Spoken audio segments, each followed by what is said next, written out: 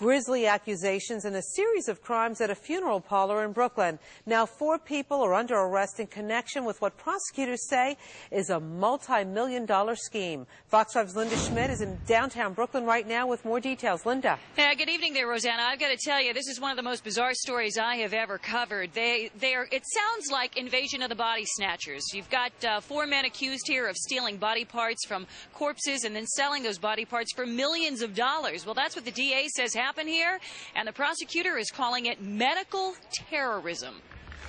These are the men accused in the ghoulish scheme, and they weren't talking on their way into court. Now, the Brooklyn DA says Dr. Michael Mastromarino, a dentist who lost his license, is at the center of a ring to steal body parts from corpses.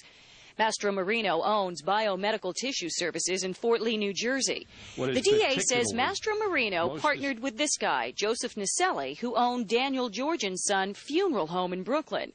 According to the DA, the two carved up more than a thousand cadavers at the funeral home, stealing bones and skin without the family's knowledge, and then selling the body parts for millions of dollars. The tissues included skin, bone, ligaments, and just about any other part of the body that was not an organ.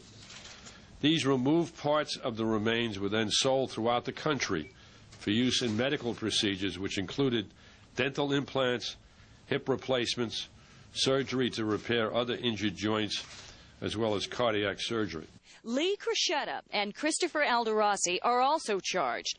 And just take a look at these x rays. The four are accused of replacing bones in the bodies with plastic plumbing pipes. Investigators say it all went on in a secret room at Nicelli's funeral home after a body arrived. They were then loaded onto this particular um, uh, lift, and it would then go up into the uh, second floor which is the room where the uh, extraction of the bones was taking place. All right, now all of the men in court today pleaded not guilty. And by the way, the FDA has shut down that business in Jersey, Biomedical Tissue Services. They did that earlier this month. The investigation, though, is still continuing, and more arrests are expected. Back to you. All right, thank you, Linda.